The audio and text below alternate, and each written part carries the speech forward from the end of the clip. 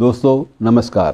پچھلے ایپیسوڈ میں میں نے آپ سے کچھ باتیں جناب جوش ملسیانی صاحب کے بارے میں بانٹی اور آج کچھ جانکاریاں اور بھی دلچسپ جو ذہن میں آئی ہیں وہ آپ سے بانٹ رہا ہوں۔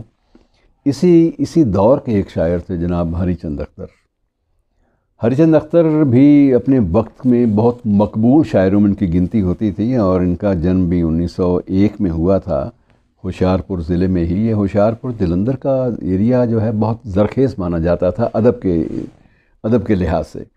ادیبوں کی یہاں پر بھرمار تھی ایک گھرانے تھے بہت، حالانکہ یہ سنگیت کے گھرانوں کی طرح گھرانے نہیں تھے، لیکن یہ کچھ استادوں کی ایک ایسی خوشبو تھی اس علاقے میں پھیلی ہوئی کہ وہاں ادب جو تھا خوب پنپتا تھا۔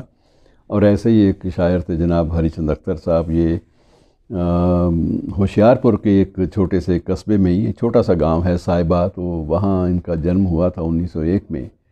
اور اس کے بعد نرنتر جب شاعری کے پادان پہ چڑھنے لگے، تو اس کے بعد لگاتار اوپر ہی اوپر چلتے گئے۔ ان کا ستارہ بہت بلند ہو گیا۔ اور ان کی بھی جو جو شروعاتی جو تعلیم تھی، وہ تو خیر لاہور میں ہی ہوتی تھی سب کی۔ ان دنوں میں، ان دنوں میں لاہور سب سے بڑا ایک اڈا تھا، شکشا کا کیندر تھا۔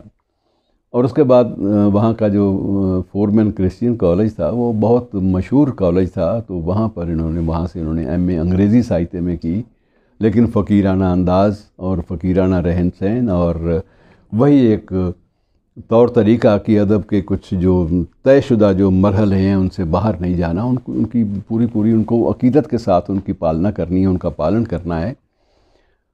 کئی بار پھنس جاتے تھے بیچارے، جیسے ایک بار مسلم لیگ کا کوئی مشاعرہ تھا اور ترا مصرا دے دیا گیا۔ مسلم لیگ نے، حالانکہ وہ ایک سیاسی کوئی منچ نہیں تھا، لیکن مشاعرہ تھا۔ تو مشاعرہ جو تھا، وہ ایسی سنستھا کی اور سے تھا جو سنستھا مسلم لیگ سے بندی ہوئی تھی۔ اب انہوں نے منچ پر مسلم لیگ کا جھنڈا، وہ ستاروں والا اور چاند والا وہ پھہرایا ہوا تھا، ہرا جھنڈا، اور وہ پھہرا رہا تھا۔ اب استاد ہری چند اختر کے لیے بڑی مصیبت ہو گئی کہ اب اس جھنڈے کا احترام جو ہے میں کیسے کروں؟ نہ تو میں مسلم لیگی ہوں، نہ میں مسلمان ہوں۔ تو انہوں نے اپنی شروعات جو تھی وہ دور سے، وہ ایسے کہ لوگ بڑے چاؤ سے دیکھ رہے تھے، بڑے حیرانی کے ساتھ کہ آج استاد کیسے نبھاتا ہے اپنی اس نئی بھومکا کو، اس نئی جو انداز، وہ کون سے میں سامنے رنگ میں، کون سے رنگ میں سامنے آئیں گے تاکہ یہ لگے کہ یہ اپنے جو طے شدہ زندگی کے، نجی زندگی کے جو سدھانت ہیں، ان سے زیادہ ادھر ادھر نہیں ہوئے۔ تو انہوں نے پہلے جھنڈے کی اور دیکھا۔ اکثر جتنے بھی شاعر آتے تھے، وہ جھنڈے کو ضرور ایک آدھ شعر جھنڈے کی شان میں پڑھ دیتے تھے۔ تو انہوں نے دیکھا اور ہاتھ کا اشارہ کیا کہ دیکھو، ہری چند اختر پھہرا رہا ہے۔ اب کسی کو اس بات پر نہ تو تعجب ہوا، لیکن تعجب ضرور ہوا، خوشی بھی ہوئی اور کہہ کہہ بھی چھوٹے۔ اور لوگوں نے اس بات کی داد دی کہ استاد نے کیسے نبھایا؟ اس میں ہرا رنگ بھی ہے، چاند بھی ہے، اختر بھی ہے، ستارے بھی ہیں اور بڑے سادگی ڈھنگ سے، بڑے سمان جنک ڈھنگ سے بات اپنی کہہ بھی گئے اور اپنی بات رکھ بھی گئے۔ تو یہ ان لوگوں کو ایک تمیز تھی بات کو رکھنے کی۔ اور اس طرح سے ایک میں اور واقعے کا آپ کو سامنے ذکر کرنا چاہوں گا۔ آپ نے ایک شعر اکثر سنا ہے، اس کا مصرع اتنا لوک ہے کہ وہ ہر دور میں اس مصرے کا پریوگ ہوا ہے۔ ایون پنڈت نہرو نے بھی اپنی کچھ سپیچز میں لاہور میں اس کا ذکر کیا۔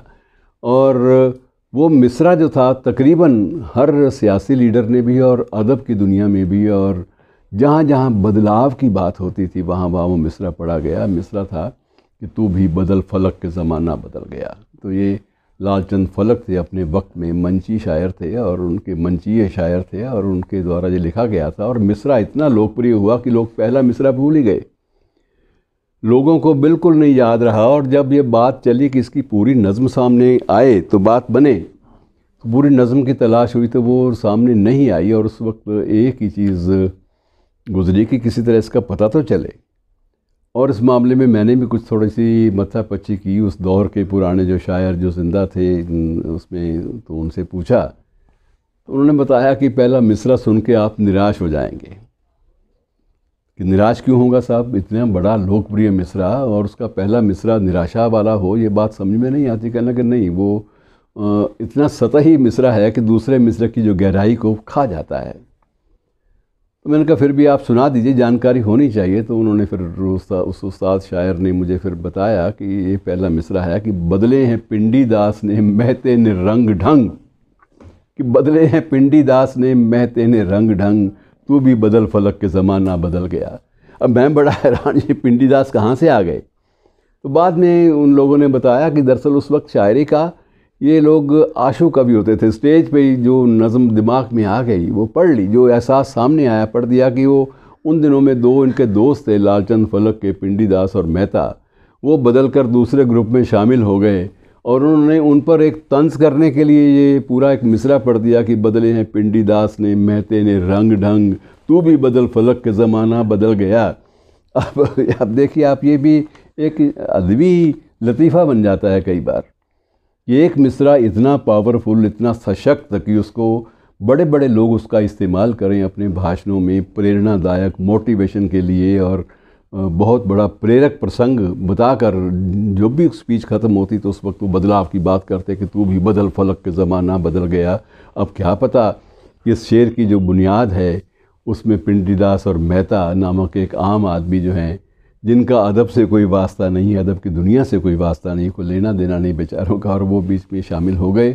تو یہ چیزیں کئی بار ادب کا حصہ بن جاتی ہیں، لیکن یہ میں اس لیے ان کا ذکر کر رہا ہوں کہ اس وقت کے لوگ بہت بھولے ہوتے تھے، بہت معصوم۔ لیکن ان کو نبھانا آتا تھا چیزوں کو چیزوں کو نبھا جاتے تھے۔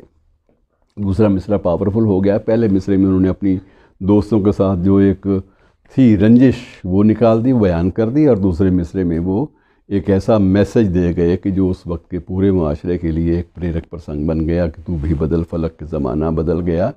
اور ایسے بہت سارے قصے آپ کو اس کال میں مل جائیں گے۔ مثلا پنجابی کے تو چراغ دین دامن کے سارے قصے ہی بھرے پڑے ہیں۔ اور ان کی تو پوری کی پوری شاعری اسی بات پر ہے کہ وہ موقع پر اپنی بامانی بات کہنے کے لیے مشہور تھے۔ اب ان کے لیے تو بڑی دقت ہوتی تھی کئی بار۔ لیکن وہ دقت کو سنبھال جاتے تھے۔ یہ بات الگ ہے کہ ان کو اس وقت کا پرشاسن سرکاریں چھوڑا نہیں کرتی تھی ان کو پھر گھسیٹ لیتی تھی کسی مقدمے میں۔ تو ایک بار ایسے ایوب صاحب پریزائڈ کر رہے تھے۔ تو پنجابی کا مشاعرہ تھا، لاہور میں مشاعرہ تھا۔ جنرل ایوب اس وقت ڈکٹیٹر تو تھے ہی، تانا شاہ تھے ہی، پاکستان کے راشٹرپتی بھی تھے، فیلڈ مارشل بھی تھے۔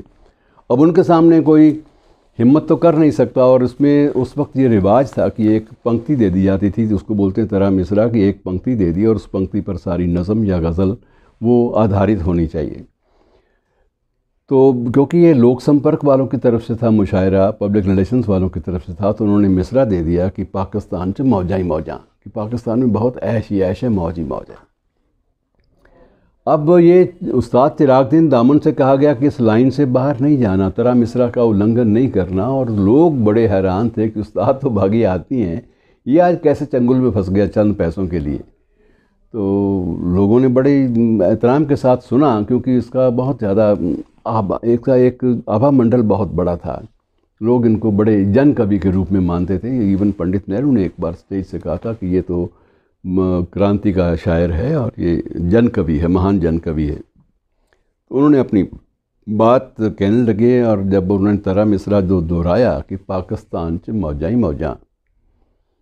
پاکستان چ موجاں ہی موجاں، جدھر ویکو فوجاں ہی فوجاں۔ اب جب انہوں نے دوسرا مصرع کہا تو ان کو فوراً سٹیج سے اتار لیا گیا۔ پھر وہی جو ہر بار ہوتا تھا، وہی پٹائی، وہی سلسلہ، وہی پولیس میں پرچہ۔ اور لیکن اپنی جو ادا ہے اپنی، اس کو اس سے باہر نہیں گئے، اس کو اس کا النگھن نہیں کیا۔ تو اس وقت کے لوگوں کو اپنی بات کہنے کا سلیقہ آتا تھا، طریقہ آتا تھا۔